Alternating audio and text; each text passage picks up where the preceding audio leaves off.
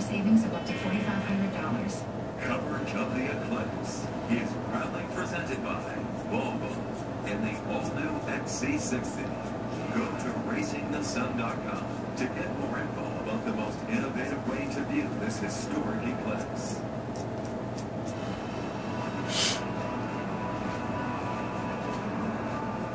Pastor Matt, eclipse of the century. All right, so the big day is tomorrow. Total eclipse, moon passes in front of the sun. We've got seating crews all across the country uh, where a lot of people are coming together to watch this event. This will be the only time in their lifetime they'll be able to watch it. Let's go to CNN. Miguel Marquez, who's in Independence, Oregon. I'm guessing this is your first visit, uh, where you are counting down to the eclipse. Miguel, I know folks are excited. I got the best duty ever. Look, this is going to be like the Super Bowl, the, uh, World Cup, the Olympics, uh, all of us come together. But the game in this case only about two and a half minutes long. Millions and millions of people pouring in to the path of totality. Countdown to total eclipse, coast to coast. This is the sun, and then this is the eclipse, and then this is the moon, and it goes directly at it, and then makes it totally dark. In its path, I need for work. an astronomical celebration from Oregon to South Carolina. The place to be, the 70-mile swath of full eclipse, or totality. The moon's shadow racing across the country right through 12 states, turning day into night. What do you think's going to happen? Like, I don't think you really should look at the sun. It might, like, burn, burn your eyes. Good advice. Heated everywhere. In Chicago, long lines despite the rain for eclipse viewing glasses. Eclipse traffic already heavy. We're hearing a lot of information about the traffic's going to be real heavy that day.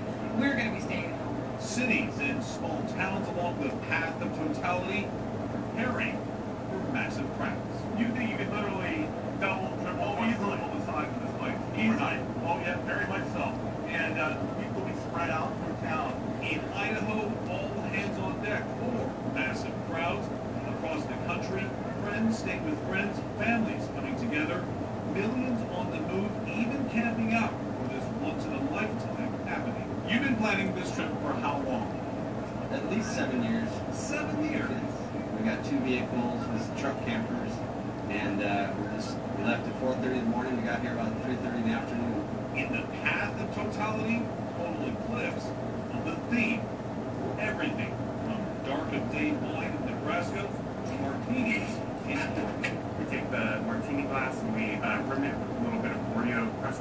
And of course, eclipsical donuts. It's a chocolate top. It's got the, the sun ring around it. But then when you break it open, it's full of sunshine and orange creamsicle flavoring. This eclipse unique for the U.S. The last time one went coast to coast here, 1918. Woodrow Wilson was president, and the First World War was nearing its end. Now, one other interesting thing about this eclipse, the path of this takes it only through the U.S. The last time that happened, 1257, King Henry III was on the throne in England, and it was about 200 years before Columbus had been born, so the U.S. wasn't even thought of as a country at that point. Uh, people are incredibly excited for this. Back to you guys. So what you're saying is it's been a while, right? It's, it's a bit, been a few years. It's been a minute. All right. Minute. Miguel Marquez in Independent, Oregon. Thanks so Time much. to go. You know, Allison Chinchar keeps bringing us these glasses, and we're bitter. Can I just say that? I should say it. She brings us these glasses to show everybody, and they're cool and everything, that we're cute. You look good. I feel bashful. However, we have to give them back after every shot. And when I say give them back, we had these last hour. Yeah, yeah. We yeah. had to return them before receiving them again for this shot, and now we've got to give them back immediately after. You gotta guard. They're under, you know, the sad part is they probably cost like two dollars to make, but we have them under lock and key because so many people, a lot of places have run out, so so many people are now asking. I think in the last 24 hours, guys, I've had at least a dozen people ask me if those could go missing, um, the ones that the weather department are using. Because yes, this is a big event. Everybody wants to see this, but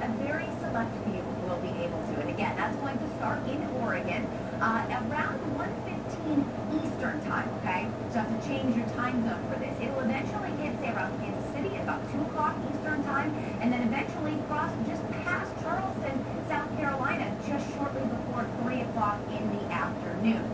But the ultimate question that everybody wants to know is, what is the weather going to be like? Because if you have rain, if you have clouds, you're not really going to get the best view for that eclipse. So here's what we have out to the west, states like Oregon, Idaho, even into Wyoming. Rain is not really going to be a factor. However, especially in Oregon, you may have some haze from some of the wildfire smoke that's out there. Now, technically, that's not necessarily going to ruin your eclipse viewing. If anything, it may actually kind of change the coloring a little bit, maybe to a bit more of a red or an orange hue because of the smoke and its effect on that coloring. Now, when you move a little bit further east, entirely. We have not just some rain chances in the forecast for places like Kansas City and Des Moines and Lincoln, but also severe weather. We're talking damaging winds, the potential even for an isolated tornado or two, and large hail. So if you're in those regions, make sure you also have your weather alerts ready if you need to pack up the camping equipment and get to a safe place. Further down to the south and east, places like Columbia, South Carolina, Charleston, South Carolina, we also have the potential for at least a few isolated showers and thunderstorms in the forecast here. The question is going to be some places like, say, Nashville, where it's not really supposed to rain until late at night, but you may have some clouds that develop ahead of time. Victor and Kristen, we talked about this ahead of time. It's like the folks that say, I can't get sunburned, it's cloudy out. Even if it is cloudy during the eclipse, you have to have the glasses. So make sure that you still have these on. If you are in totality, you can take these off once everything lines up perfectly for say about that one and a half to two minute time frame. Until then, you have to keep the glasses on. So just make sure that you have them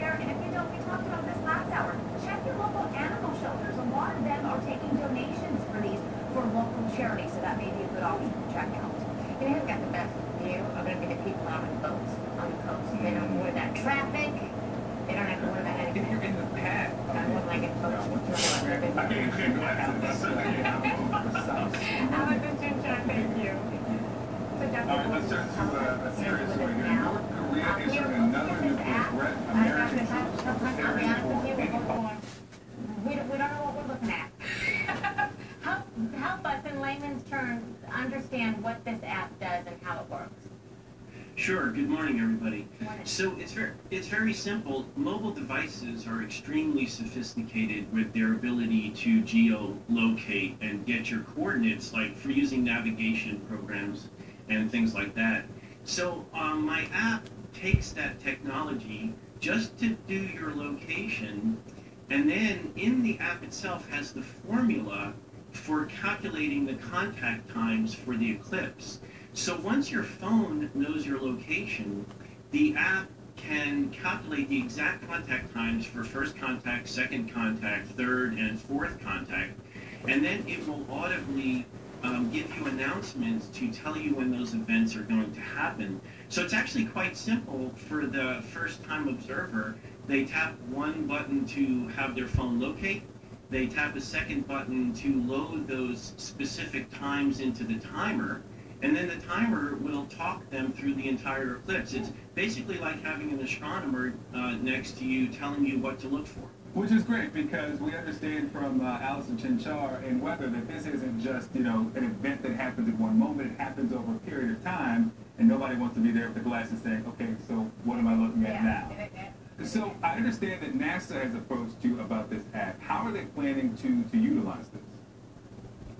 Yeah, that's an interesting story. You know, I'm very fortunate because I love following the NASA program, and I live next to Marshall Space Flight Center in Alabama. So I, I have, through time, been able to meet a lot of the NASA scientists, including the solar scientists, because I went to my first eclipse in 2001, and I've had contact with them.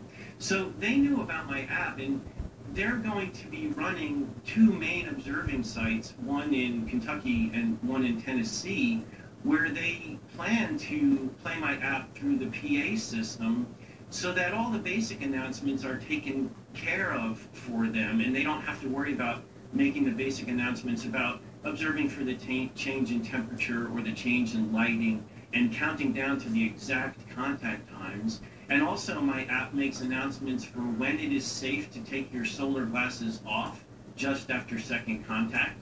And a reminder to put them back on just before third contact, and that is very important. So it just takes a little pressure off of the folks running those two observing sites to have that be automated. Okay, we only have about 30 seconds left, but tell us about the solar bands. Uh, what, what are they? And why Oh, shadow bands. Well, shadow bands happen just in the final 60 seconds before totality begins, and the final 60 seconds right after, right after totality ends. And you look on the ground, and you look for these very faint, low contrast shadows that get created by that slit of light coming through the atmosphere. It's very exciting to see them. Not everybody will see them, but the app reminds them to look to the ground at 60 seconds before second contact to look for these very faint shadows. My, my kids are going to love this. My Yes. little scientific girls are going to love this. Dr. Telepun, thank you so much. We appreciate you walking through it. Well, thank you. This is an exciting time for the country. All right. Take good care. Uh, listen, you know, it's been since World War II.